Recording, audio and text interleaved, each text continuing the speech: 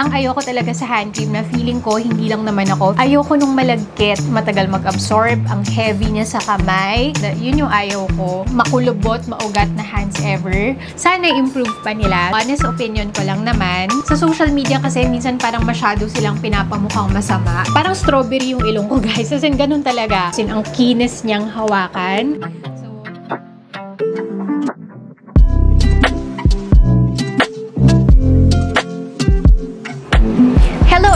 Everyone! Welcome back to my channel and for today's video, today's video guys, medyo kakaiba yung mga i-review natin today. Hindi siya yung mga usual na skincare na madalas nating nire-review. Kasi number one, itong Lux Organics na Serum Essence Hand Cream. Actually, Serum Essence Antibacterial Hand Cream. And itong Lux Organics na Overnight Absorbing Nose Patch. So, di ba hindi siya yung mga usual na skincare. Kaya feeling ko very interesting siyang gawa ng video video. I feel like interested naman kayo kung paano siya nag-work and kung worth it ba. Okay, so mag-start muna tayo dito sa kanilang Lux Organics na Serum Essence Hand Cream. So this costs 99 pesos only, guys. Alam nyo, for me, affordable na yun for a hand cream kasi usually mahal talaga ang mga hand creams. And kung mapapansin nyo, sa tawag pa lang sa kanya, Serum Essence. So serum na nga, essence pa, tapos antibacterial pa siya. So sabi nila, this is a 3-in-1 hand cream kasi it hydrates, it softens, and it protects. So, this is formulated daw with niacinamide and hyaluronic acid. Iba yun yung mga favorite natin na ingredients for our face. So, para ka talagang naglagay ng literal na skincare sa face for your hands. Which, yun naman talaga dapat, diba? Kasi parehas namang skin yan. And guys, lalo na ngayon, lagi tayo nag-alcohol. So, dry talaga yung mga kamay natin. Sabi nila, it improves skin texture and provides intense hydration. It also contains BZK. So, I'm not sure kung ano yung BZK that has has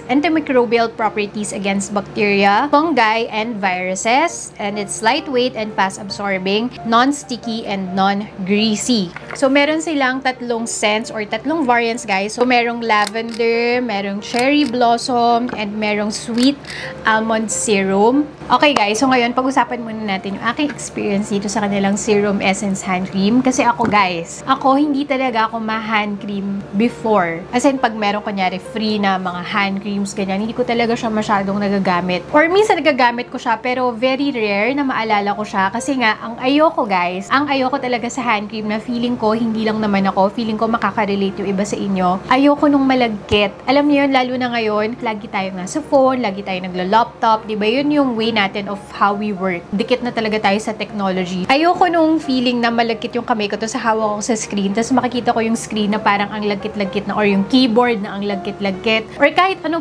panghawakan ko na malagkit. Kasi guys, usually, ganun yung experience ko with most of the hand creams. Most if not all hand creams na na-try ko. Malagkit, matagal mag-absorb, ang heavy niya sa kamay. Para kang may butter sa kamay and yun yung ayaw ko. Makes me uncomfortable. It makes me less productive. Kaya sobrang mapili ako when it comes to hand cream kasi gusto ko yung nag-absorb kaagad. Pero at the same time, gusto ko syempre makuha yung benefits niya. Gusto ko ma-soften, ma-hydrate yung kamay ko. So ngayon guys, bibigyan ko kayo ng reasons kung bakit nagustuhan ko itong hand cream na to. Tignan nyo naman itong isa ko guys. Paubos na siya.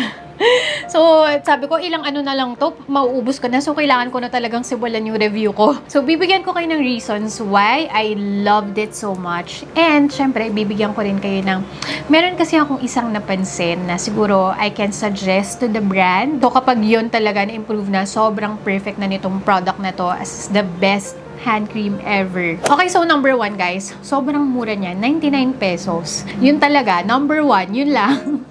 number two, guys. Ang ganda quality yung kanyang mga key ingredients. Again, niacinamide, hyaluronic acid. Niacinamide, as you know, it's one of the best ingredients for the skin. Ibi nga nung derma ko, it's a jack of all trades, but it's a master of none. So, marami siya talagang benefits para sa skin. It can help repair your skin barrier, lalo na guys, lagi nga tayo nag-alcohol. So, very dry. Minsan numinipis na yung skin natin, kaka-alcohol. So, nakakatulong si niacinamide in repairing your skin barrier, in strengthening your skin in general. Nakaka-help din siya to brighten your skin, nakaka-help siya with overall complexion ng balat. And meron siyang hyaluronic acid which is the best ingredient guys to hydrate the skin kasi hinuhold niya talaga yung water sa skin natin. So it's a very very good hydrating ingredient. So ang ganda ng kombinasyon ng dalawa. Overall, ang ganda ng set of ingredients niya to brighten your skin and kung meron kayong mga pigmentation sa kamay, kung meron kayong mga scars like me. Ayan guys, meron akong scar dito and nung time na ginamit ko to, very fresh pa kasi tong sugat na to noon. Kasi nga, ang nipis ng balat ko talaga sa kamay. And I have the driest hands and makulubot, maugat na hands ever. So, kailangan ko talaga ng hand cream. Remember guys, makikita sa kamay natin ang ating edad. So, kailangan talaga i-prevent natin. Kailangan lagi natin talagang i-moisturize. So, napansin ko ever since I started using this, napadali na yung paggaling ng sugat. And ngayon guys, nasa process na siya nung as in pagaling na talaga. And umiit na kagad yung sugat guys. At the same time, nalilesen niya yung pigmentation. Nalilesen niya yung formation ng melanin kung tama yung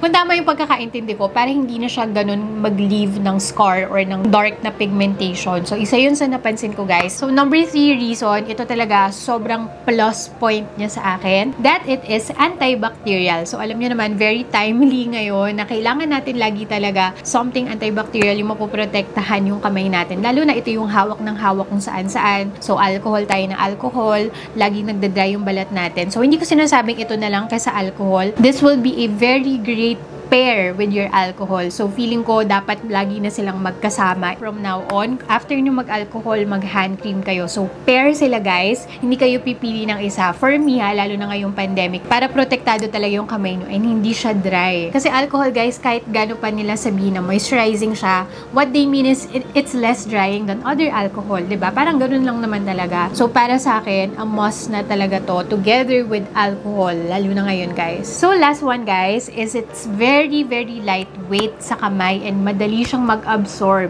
So, yun talaga yung deal breaker sa akin na parang na-discover ko na, ay wow, na-absorb siya kagad, pero nag-leave siya ng moisturizing film na hydrate niya kagad yung balat ko. And yun nga, absorb siya kagad, hindi siya yung matagal or buong araw talagang malagkit yung kamay mo. So, kung ganun din kayo guys, this is the hand cream for you. Kasi mga after ilang minutes, ano na siya, absorb na siya ng balat and mararamdaman mo sobrang lambot, sobrang hydrated ng kamay mo. So, this is something something talaga na every after alcohol, pwede mo siyang ilagay sa kamay mo. Tapos i-rest mo ng sandali, maya-maya, na-absorb na siya fully ng skin mo. So, yun yung mga nagustuhan ko dito sa kanilang hand cream. So, ngayon, ano yung sinasabi ko na sana improve pa nila. So, ito, honest opinion ko lang naman. Ako lang naman to. Feeling ko sa iba naman, hindi nila to mapapansin. Pero ako, guys, preferred ko sana kung pump dispenser siya, hindi yung ganito. Kasi, guys, syempre, kukuha ka, ba diba? Kukuha ka ng hand cream, ganyan. Tapos, ilalagay mo pa mga ilang ikot pa, 'di ba? So kung ako lang, sobrang 100 plus plus plus points na kung pump yung dispenser nito and mas madali, mas hassle-free all together yung experience mo sa kanya. Pero ganito, hindi naman siya nakaka-affect talaga sa performance ng product. Pero yung sinasabi ko lang as a suggestion na kung nagko-consider si Lux Organics na improve pa nila yung packaging in the future, mas okay sana kung pump siya. For me lang naman. Pero again, sabi ko naman sa inyo, kung ano man yung packaging niya, importante pa rin yung laman sa loob. Importante pa rin yung product. And guys, so nga pala, yung gamit nito, hindi lang siya nalilimit sa kamay. So, pwede nyo siyang gamitin sa tuhod, tsaka sa siko. Alright, so next one is the Lux Organics Overnight Absorbing Nose Patch. So, nakalagay talaga dito na non-abrasive, gentle on the skin. Ganito yung kanyang itsura. Cute nung korte niya. ba diba? Hindi siya yung parang isang ganun ganun lang talaga na straight. So sabi nila, this absorbs blackheads and whiteheads. It melts oxidized sebum that causes blackheads and whiteheads. It controls oil production. It minimizes pores and safe and gentle on the skin. Formulated with tea tree oil that helps excess oil at bay and linolenic acid that helps soothe the skin barrier. So ako, favorite ko guys si tea tree oil talaga when it comes to blackheads, when it comes to pimples. And how to use this guys, um, you wash your face with warm water and a cleanser. Warm water or yung lukewarm water guys, yung kumbaga kung ano yung closest na temperature sa inyong skin. Kasi yun yung I heard na pinaka-beneficial sa ating skin, yung hindi masyadong mainit, hindi masyadong malamig. Number two, make sure na yung skin nyo is properly dried kasi hindi kakapit to guys kapag basa yung inyong skin. Number three, apply the patch on the nose area before continuing with your skincare regimen. So kung curious kayo kung kailan nyo ba to ilalagay, ilagay nyo muna siya guys bago kayo maglagay ng kung ano pang iba nyong nilalagay sa face. Kasi again, baka hindi siya kumapit. So avoid the nose area when applying toners, moisturizers, etc. And lastly, leave the patch overnight. And nakalagay dito, inside your tip. May also be used for the chin area. So, ito kasi usually yung maraming blackheads, di ba? Yung chin and yung nose. So, pwede nyo siyang gamitin either actually. So, results may vary for maximum effect. Use 2 to 3 times a week. So, guys, alam nyo, ako, feeling ko ha, may mga, marami actually yung parang takot sa mga physical na exfoliants. Kasi, sa social media kasi, minsan parang masyado silang pinapamukhang masama. Alam niyo yung ganun? Parang judge masyado yung ating mga physical exfoliants compared sa ating mga chemical exfoliants. When in fact, they can actually work well together para ma-achieve nyo talaga yung desired um, results nyo on your skin. And hindi lahat guys ng mga physical exfoliators are made equally. So tandaan nyo guys, number one, you have to find the right product. And number two, you have to use it correctly. You have to use it properly. But going back to this product guys, so this is a hydrocolloid na patch. So similar siya guys doon sa mga, alam niyo mga pimple patches na nilalagay natin sa ating mga pimples. Tapos kapag tinanggal nyo, di ba parang lumiliit kagad or lumalabas kagad yung nana, ba ganun yung nagiging effect niya. And hindi niya nasusunog yung skin nyo underneath. Kasi ang hydrocolloid guys,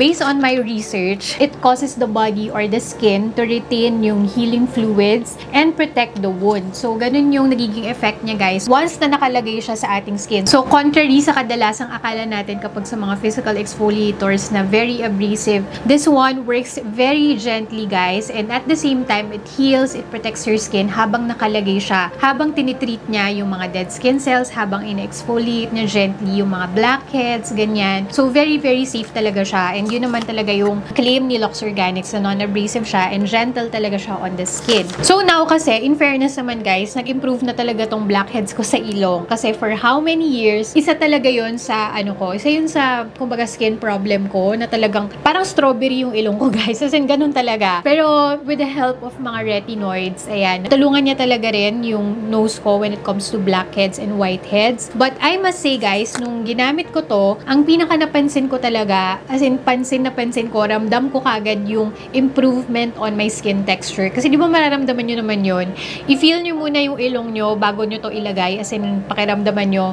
Tapos overnight nyo siya ilalagay, di ba? The next day, kapag tinanggal nyo na siya, as in mapapansin nyo yun guys, as in parang halos wala na kayong maramdaman anything on your nose. As in, ang kinis niyang hawakan. Tapos guys, hindi siya yung masakit kapag tinatanggal nyo na sa nose. Kasi may experience na ako sa mga ganong nose um, kemerot. And ayoko nung iba na ang sakit-sakit niyang tanggalin sa nose. So ito, hindi. As in, very gentle din talaga siyang tanggalin. As in, kung yun yung concern nyo guys when it comes to mga nose patch, nose strips, or whatsoever, this one is the most gentle actually na na-try ko ever on my nose. Again, ang nagustuhan ko talaga dito, it works very, very, very gently. The gentlest way possible sa mga physical exfoliation sa ating nose.